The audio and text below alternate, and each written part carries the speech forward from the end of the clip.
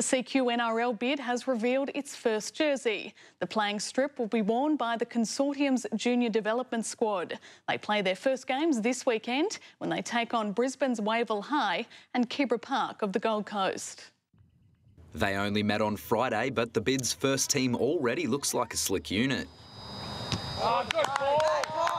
No one really knew each other, but everyone's gelled really together, and uh, I'm really impressed with the, the quality of the team that we've got together.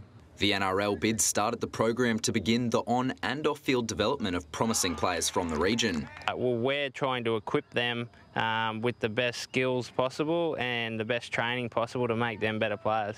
The three day training camp is all the boys get before they represent the club wearing its inaugural jersey this weekend. And it's not so much about results, but it's improving the individuals as players.